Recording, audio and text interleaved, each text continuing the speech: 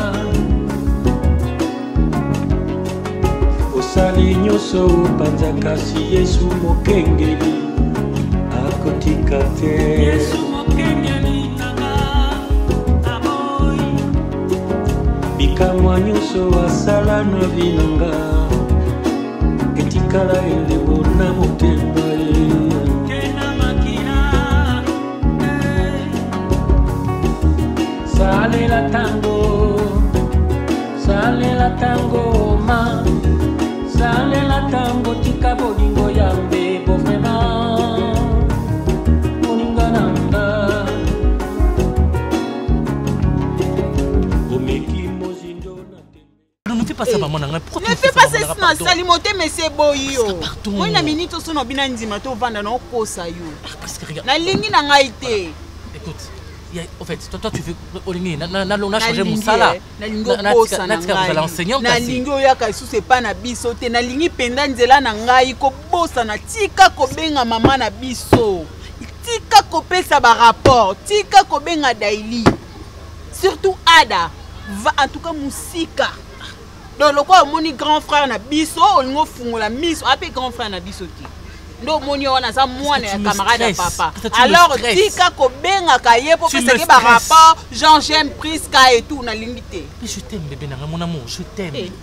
Je sais pas vivre sans toi, Veronica. Je sais pas vivre sans toi. Regarde, je sais pas vivre sans toi, chérie, s'il te plaît. En tout cas, si il faut apprendre à vivre sans nga.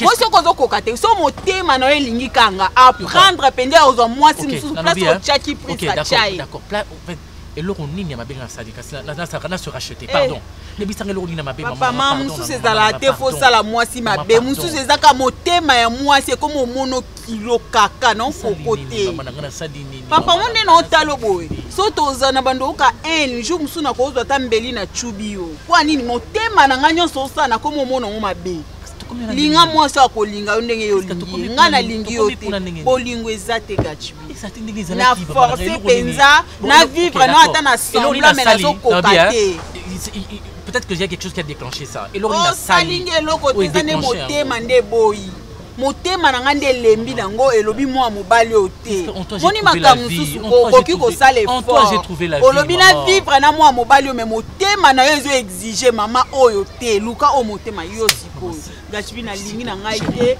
luka mwasi na mosusu papa atosali atobaluki na mabele atuka ata obaluki na mabele naboyi na ngai tika kokenda epa na biso opesela nga barapport ngamu namemaki okuna ngamu naboyi na bango nyonso oke opesa wana eza na motu moko ta olinga yo nga kaka nde munalingaki yo alors arrête arrête arrête konyataka makolo na yo epa na biso te avant nasopela yo mai ya moto ngai oyo nazoloba avant nasala eloko mwa bopanza no nga sango ngai oyo nazoloba nayo na kimia naboyi tobeba na ekoma ya kopesanaka barapport na nzela naboyi ekoma ya kobebiselaka bareputation na nzela so olingi obebisa reputation nango te antuka yoka nga na oseko te ese nga nalobi oza mabe ese nga nalobi kende oza préféré ya basi mosusu te ah, prisca eh, prisca gachbi prisca namoni nalobi ebele mpe mo ozosisela ngai nakoki eloba jetem mpe place ah, papa nini ko boni na ngai kasi eza yo ti yango nalobi nalingi te ti mpo eza gachbi yokanisi so ezalaki motu mosusu na ngai naloba nalingi te nazoboya mpo eza gachbi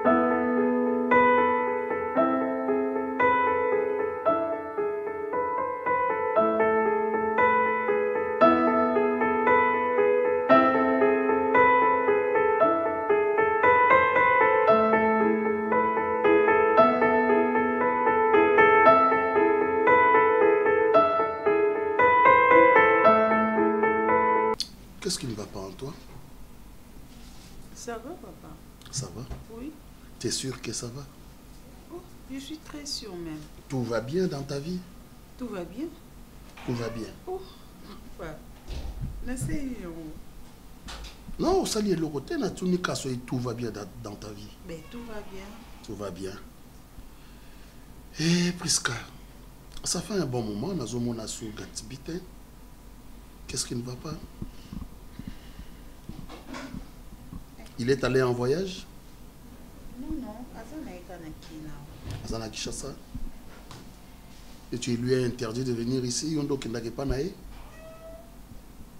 Papa, age epusama.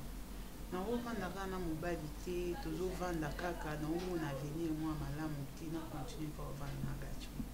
Gatsby ne fait pas des efforts oyo mobali akoki kosala po un jour pe permettre ye aye ata komona ba parents bien sûr bo permettra ye akotaka tovanda et tout mais cela ne suffit pas il faut aluka asala effort ya oluka ata bino aya aluka nde nini opesa mbongo abala ngai tokocontinue te ayaka kaka bongo eza lokola totrichaka malgré opermettango mais c'est pas logique na soli na ye ngai nayebisi ye oza mobali il faut bunda ata mwa mokie olakisa volonté ngati balingi olakisa volonté te papa nde namonaki ngai bibe il faut na arrete yango nanu tovanda na obongo tomonana te comme ça ekoki opesa ye mpe courage ah, o arrete yango nanu na arrete ya koyaka awa mpo koya awa ondire esala ye so nde nakanisa lokola asabala ngai Le mariage est une affaire euh, d'une préparation.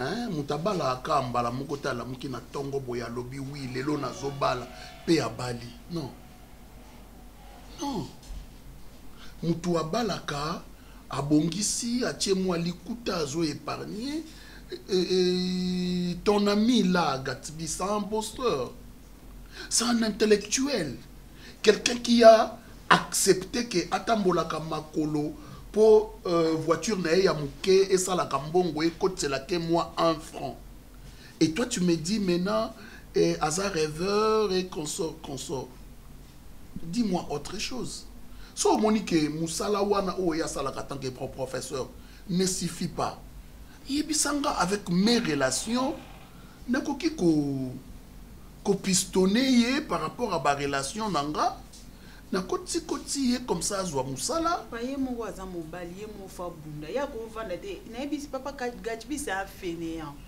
ata bolukeli ye musala nde nini naondima nanga kutu te ke akokende kuna asala normal c'est un fainéant c'est pas toi qui m'a dit autrefois écoutez hmm. c'est pas toi qui m'a dit autrefois que c'est un courageux ouais. Hein, il sait se battre dans la vie.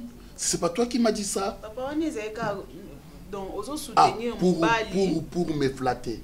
Non, ezalaki même pas ça. pour flatter, ezalaki na soutenir ye mais na sese na opesa ye courant na yebisa mobali azala boye te. Nasali ba effort ya oloba mais namoni on change te. Nako continuer bongo te eza lokola na perdre temps na nga pour rien. Et maintenant, tu as choisi un autre. Na choisir nanu te, na vandi na nga boye. C'est mieux d'ailleurs.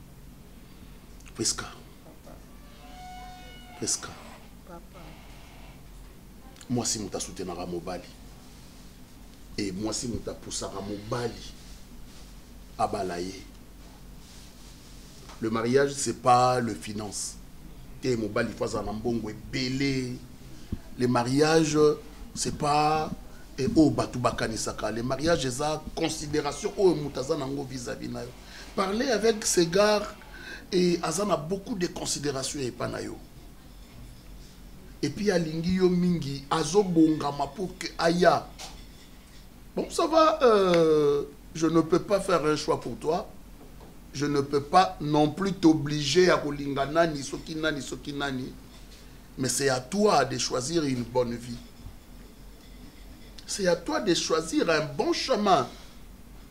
Parce que, lingité, ezala lobi yo papa moto aforsaki nga mama moto aforsaki nga naomi nao papa nalingi te ezala lobi yo papa moto aforsaki nga papa papa papa papa yaya osisi mi misala na yo euh, ok euh...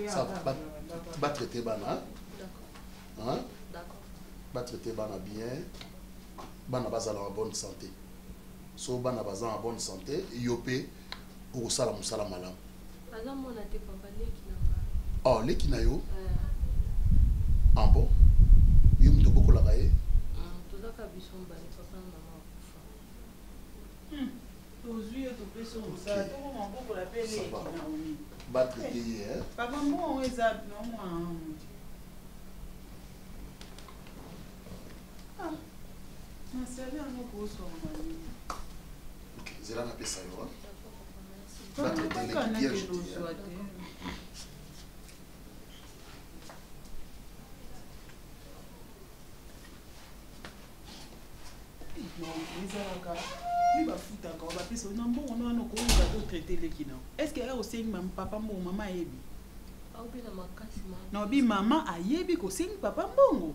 Tango babenge nga obela maman azalaki te nazali. Eh!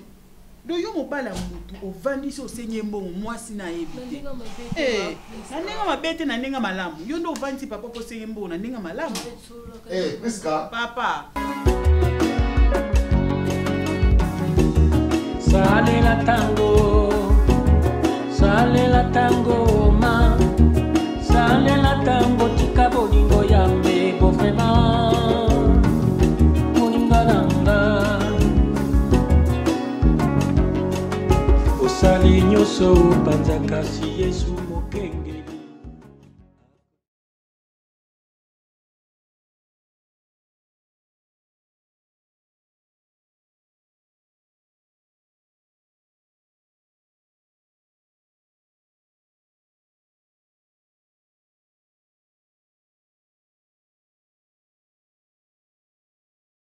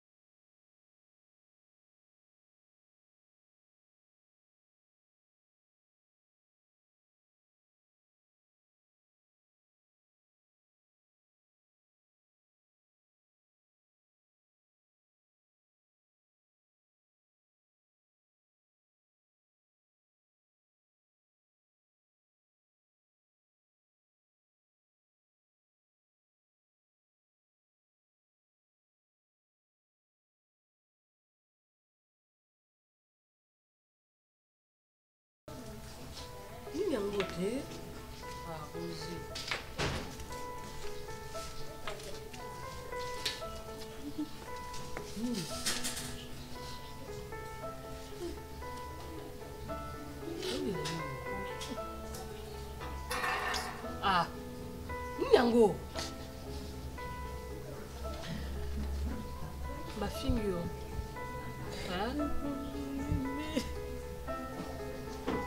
mama aleta fingi yo me yebisanga kai nini te mwana a ah. batika loyo oloba no makambo mabe eske biso nde tokoma papa ya nani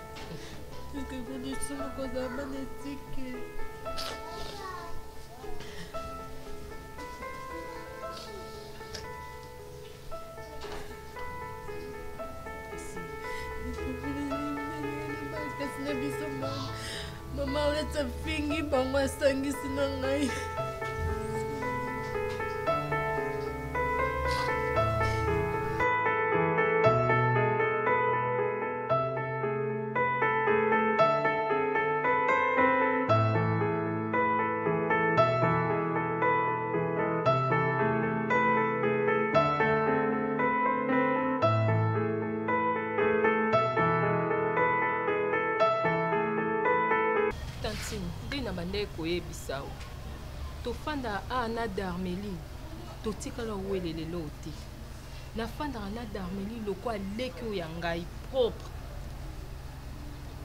elamba darmeli ezala ya ngai ya ngai ezalaka ya darmeli okokomisa mobali na ye ya yo mama koloba bongo te tanti yango mpo olingi okomisa mobala moninga ya yo sikoyo bapreuve wana eza tangible bongo vraiment tantine ekowuta wapi na motu ndenge alati ozwi foto tindi ya abi tantine oza mwana na ngai wana ndeko na yo te nini na intere nini ngai mpenza nakokende na ndima kosala leki oyo ya nga moko mabekamna ndima makambo eh, ngai eh, omoni mama no balobaki bazwa yo nga nalobi te mwana yaya mwana yaya nazwi yo na tio awa ti mokolo mosusu mpe so nga mpe nazwi yanga moko yo mpe oluka ozwa tantine oyeba makambo ya minene oyo booloba ndenge esala nga mpasi bose rendre compte te pesa moninga mpasi ngai erreur eh. oyo ngai nasala na ndako oyo ngai moso nafandi na mitunaka nini ezwaka nga ezalaka kaka parceke na bandaki kokolanda decor na barepetition na bango vike nasepelaka na na, na, na bato ya théâtre nazali kokende kaka koparticipe na barépétition na bango mabe oyo ngai nasala eza parce que nasolisa décor bien il fallait pas banda wana na gira na ngai naloba ngai jamais nakoki kozwa courage ya koaprochaka mibali ya darmeline mwa mobali wana oyo baza na ye yebisa nga ata ntina kopesa ata telefone na ngai yango oyo te telefone na ngai eza mpe na kodi te eloko te nasolola na ye ka une fois darmeline apasa ngai ye tolala ye na mbetu boye asololi apase abina pase o grande sere na nga tosololi mpe na garçon ngo esili banda na natikala natikala te tantine natikala baloba ko boti mwana oboti te matemanazomona yo darmeline afandisa camarade na ye wa mutu bien te wana afandisi ye mpo abanda koloba na nga ke ngai abi nabeti leki oyo nga moko virunga eh? oza mabe eh? tata mwasi ngai naki obeta darmini virunga bakamarana nga toza na bango libanda ozolela mpe abi moninga akomi na pwe babala ye yo olingi olela na point oyo ngai nalingi nalata liputa ya mwana na ngai naboti ye kaka ye moko yo okei obebisa darmeli abotela wapi darmeli kindumba nini asala oyo ozosala awa nani sa devoila yo tantine kosa bongo te ata mabe yango naza nango e eh. vomi nasala yango libanda me na darmeli nini osala te nzambe alimbisa yo lokola yo ozwi makolo notie na bilanga mwana na ngai ya yo kolonama nzambe alimbisa yo mama ozangisi nga kimia mwana na nga leli butu mobimba me nzambe alimbisa yo eh. loba nga naza leki ya tata na yo te me soki naza leki ya tata na yo yo mpe kozwa virunga so darmelia okoka te nga mona obeto virunga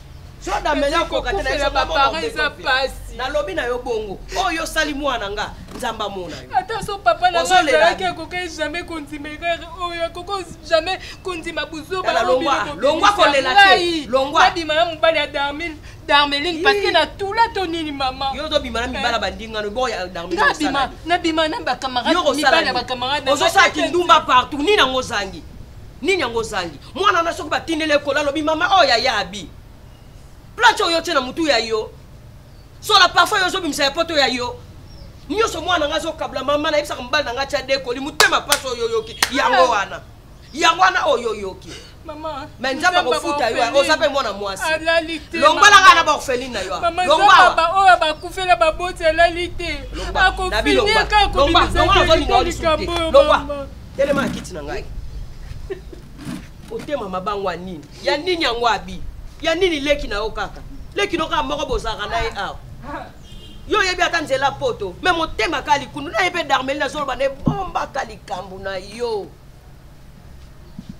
hmm? famille eza kaka na makila ezalaka nango su te bandeko na biso moko bakoma binemi na biso Mozo yoka te mwana nga. Na obenga yo te. Oh, yo ba benga ko foka ba bengo 3 fois 4 fois. Te mada elina zai na oyo kanzo to bien. Et puis nga ndo benga nga mama na nga linga na nga. Yo ndo oza na yo ko bando benga nga mama nga na bota yo. Eza na mama obota te eza ka. Wani respect leki. Sikoyo yebisa nga no poni osali ya te. Papa Jeremy alobaki na ngai ye moto Pas Jeremy te Jeremy. Nini yango kokolisa bato ko? Jeremy alobaki ye moto akosala awa. Eboko banda mokolo nini Jeremy deja yo depuis oya na ndako bayebisa yo te ke Jeremy akoma libanda yo nde okoma na kati. Nayaki deja nasala ye alobi na ngai bima awa ngai moto nakosala awa. Sikoyo asali yango nde otala boye mpenza salon bapangusi ba deja toyebisa bino. Heure oyo mama akendaka mosala, papa akendaka mosala. Donc salon na bango bokoki nao ku kobanda yango te mais il faut bobanda nao na salon na biso biso toyambaka bacamarade a chaque jour ndeti boye bacopine na ngai babengi nga dans 10 minutes baokoma oyebisa nga sikoyo ndako nde eza boye osala yango dans 10 minutes mpo kuna kuna salon bapapa na osisi te nakataka kuna alukeli nga kalikamna ninga na bana na ntango oyaki atoyebisaki yo ni mpo na jeremi N'est ce pas que toyebisaki yo que kolanda makambo ya oyebi biso te a patron na yo te ba patron na yo nde eza biso boye ça va pas chaque jour faut bobanda olobisa bato bino boya bamikolo eh. boya bamikolo makasi bokobanda olobisa biso te lokola toloba babebe likambo moko torepeta yango lelo tolobi lobi toloba susu mposo jérémi yango akoma mokonzi na osekeke osala na ndako ya jérémi mpo biso toyebi biso likambo mosusu yo oyo oyebisanga pa jérémi pa jérémi ya ndenge ba copine na nga bao ya 10 minutes kutu eye ebele osisa salon o oh. nani adabime aza ya chambre aliaki deja nauti kuna nauti otikeli biloko aosokola aosokola ah. akotika sikoyo nga ntango nakoti deja ye azali na douche ah. aza na besoin eloko te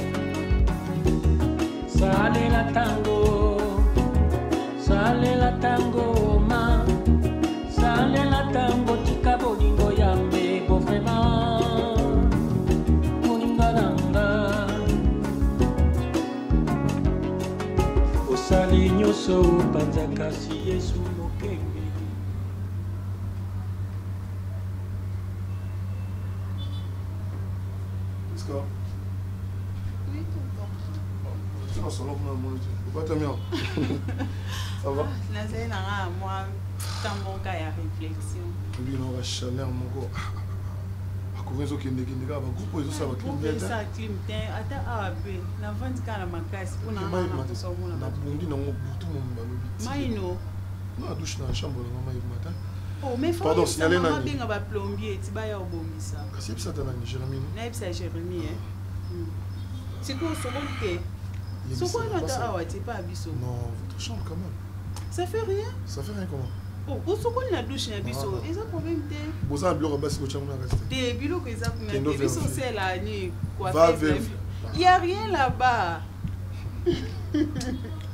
toto adali na logique juste une eh. fois une fois oh kasi eza po douche ne esala te yango napesi basavon yango ya pembe pembe nasalelaka te naso savon normal savon na ngai ezalaka hydratant eza nango naya naya kopesa ba esui babilo ya mike mike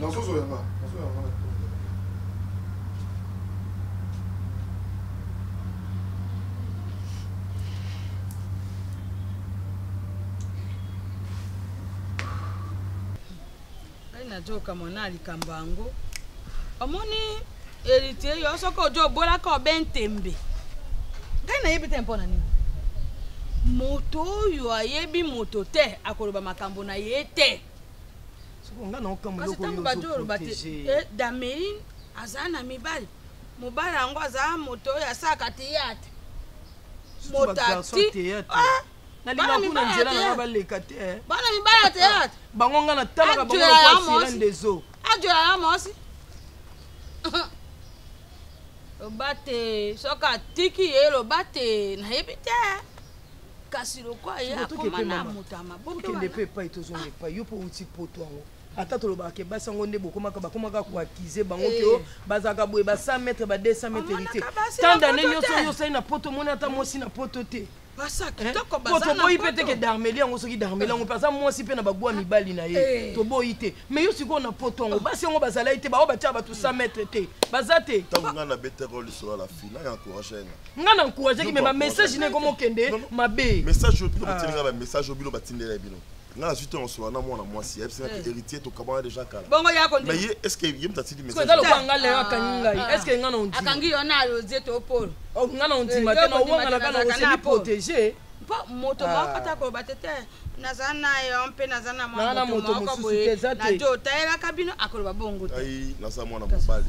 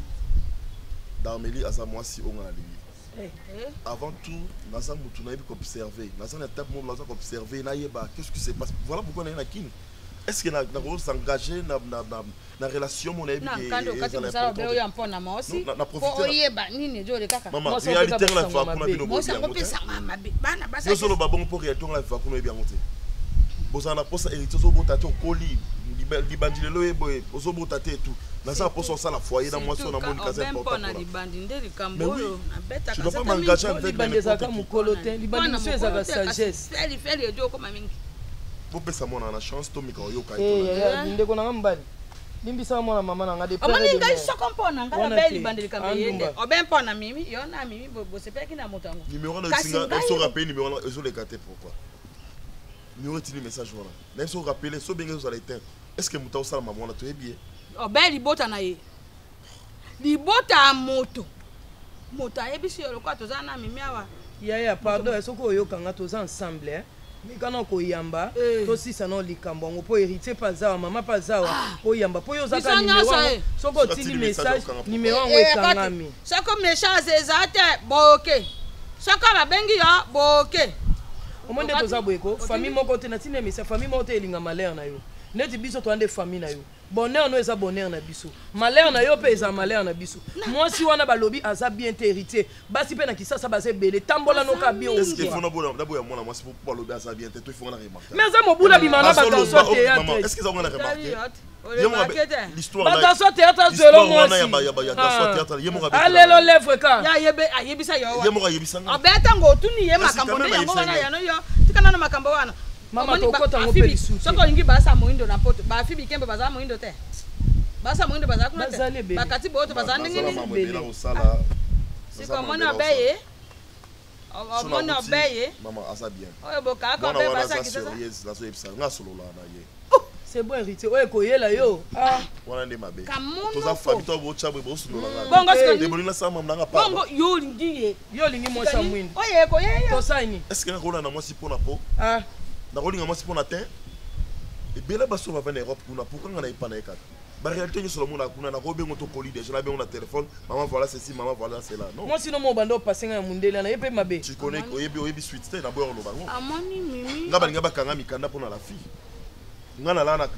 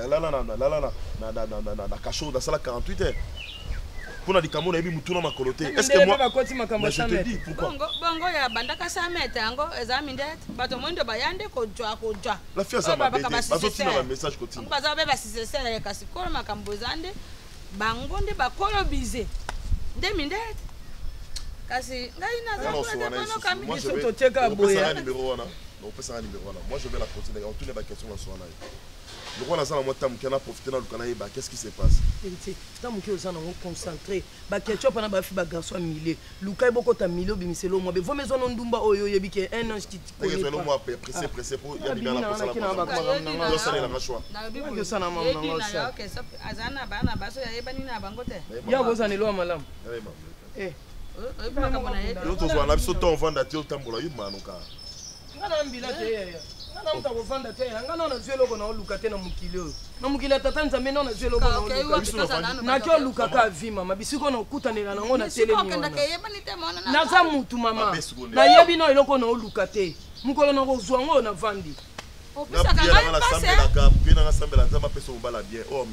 ngana na tanga na te eza bilo ya mokili wana bilo ya mokili bino nde bona baposa nzoto inutile mabosana bongo yo otambwaka na nini mposa alola nasala na poso obenge na poto mama ba comportement na ye comportement ya mwasi oyo ozala na ye nde oyebi bizali na ye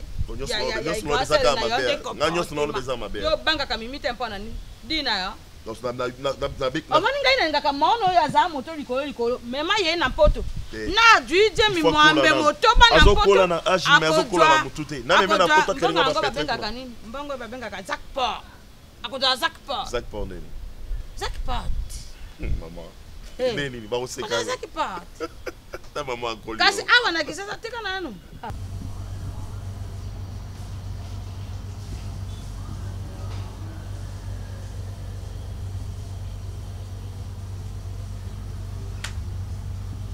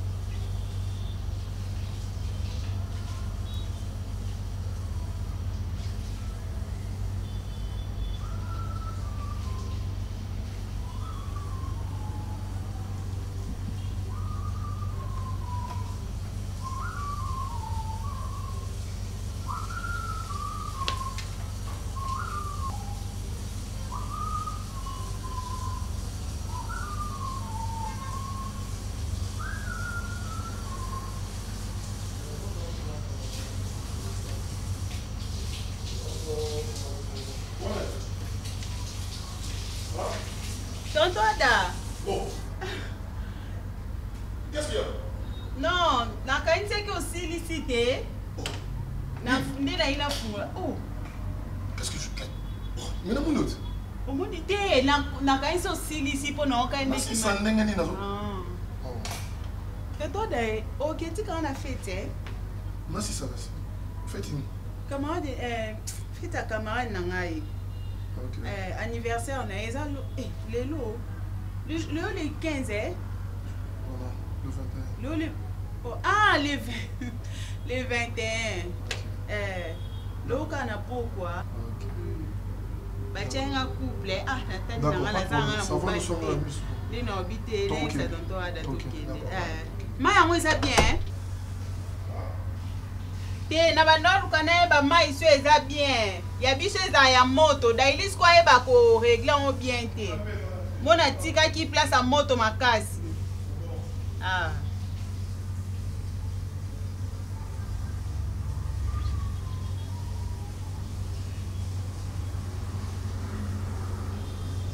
Tonton Ade e eh, okota ene esui okota ene esui a ah, te namonaki one esui ya obimi boye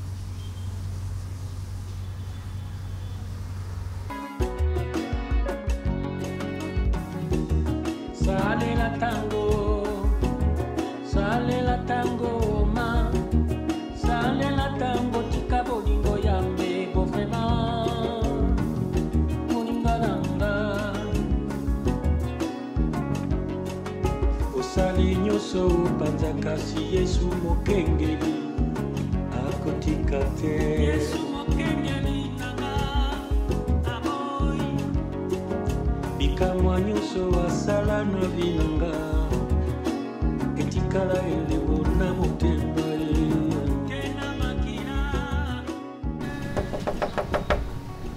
tomarke kamba moko fin suka na surprise l'homme mobali batya matabisi eh. eh, nga azwi risque ya ozwa jwa boye pongi mais bonjour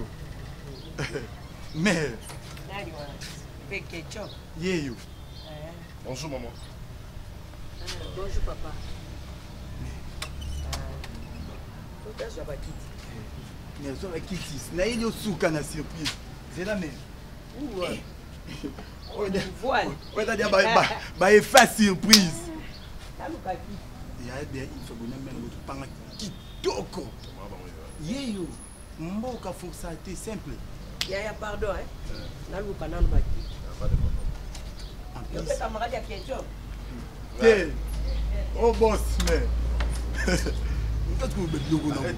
non papa il faut osala différence ya eloko ndenge ezali tokokani te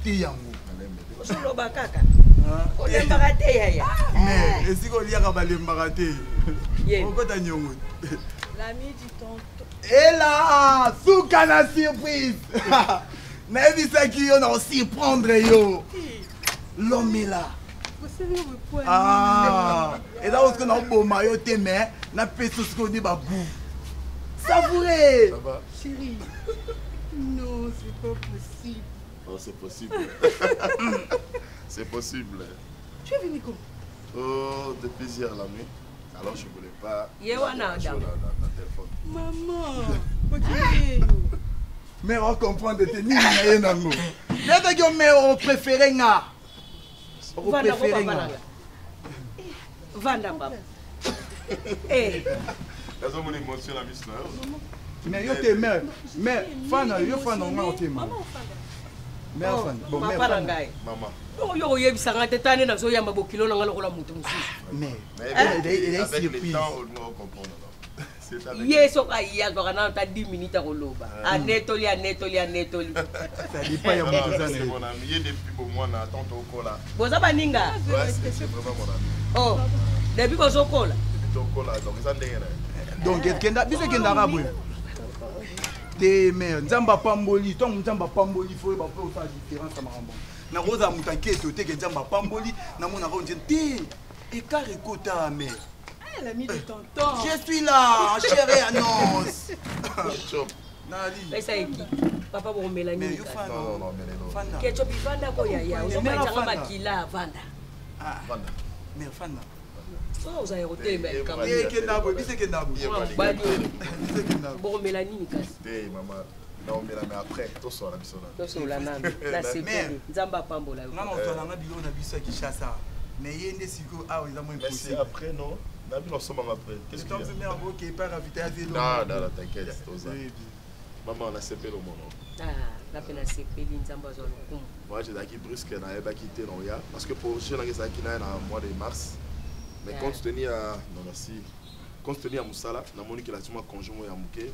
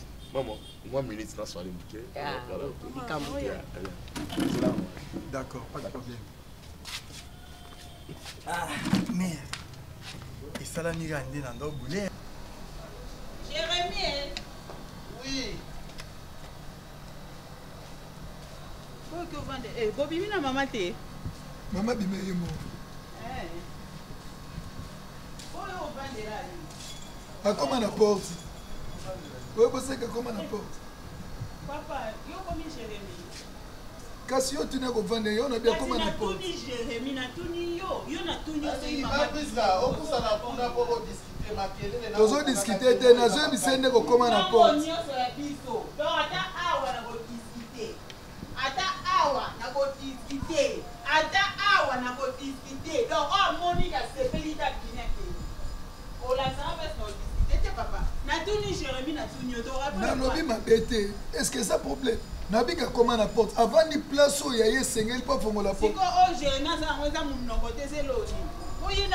atika kozala jamais d'accord nde botia na porte yango akorépondre oyo ntango ngai nazo répondre na place na ye ndeko ba misala nyonso bazwaka bata minoko chauffeur koto monoko etoboka oyo oh, koto batie na porte kutu koloba te eza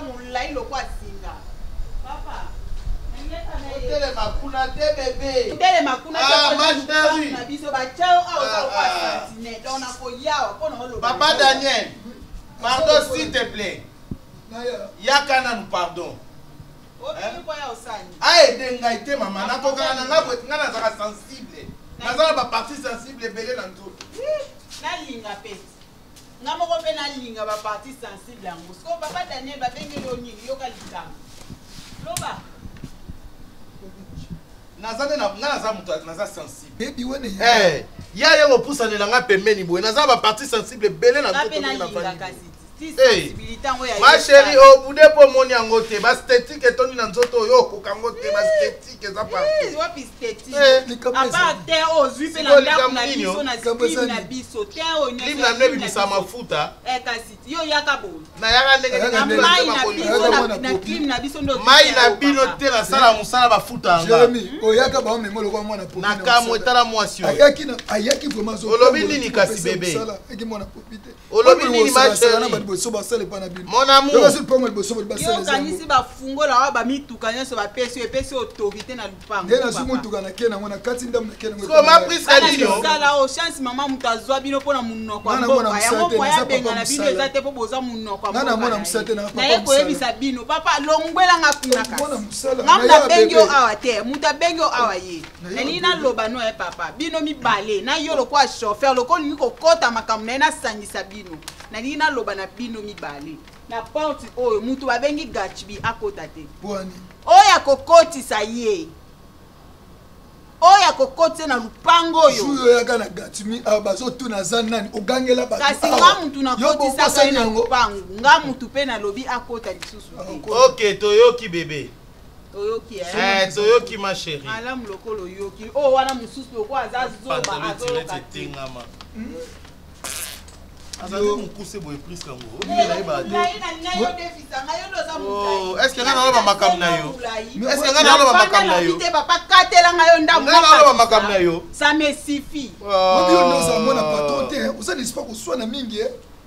Eh, mama azalaka boye tolanda nani eh, ngai bato bakomatela nga te pe importe oh. eta bozaleli nga te oza moto ya liboma tokobaluka no na potopoto oyebi nga te basel comportement eh. so nayebi bakozala boye mena zo mosala wa te azali nabi ye hmm? ande base na se boye baseni na se lokola pampex ya mwana etondi masuba yakomatisa ngo lokola yo moto osalisa bato bebe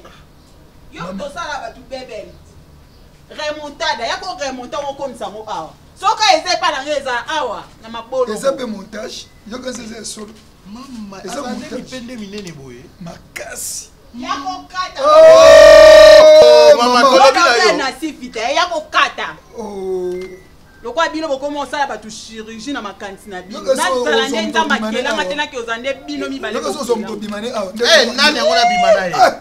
eh, N'aie pas peur. Namoni te. N'aie pas peur ma chérie. Yo te. Ngai pe namoni te eh, na mon frère. Yo te bébé. Ngai namoni te mon frère. Eh ma chérie. Tino le banana omona kamutu. mama mama obi aza na demarche lokola jeremi kutu oh, oh, mwa ndambo oh, ye kutu mwa te ebongi awa yo nano obongi te papa tina zwaka ma chérie nga mpe ne t'inquiète pas komelakisa bokoko te ozwa nga te eh, oyo nzoto ya bana bana bana baministre bana badepute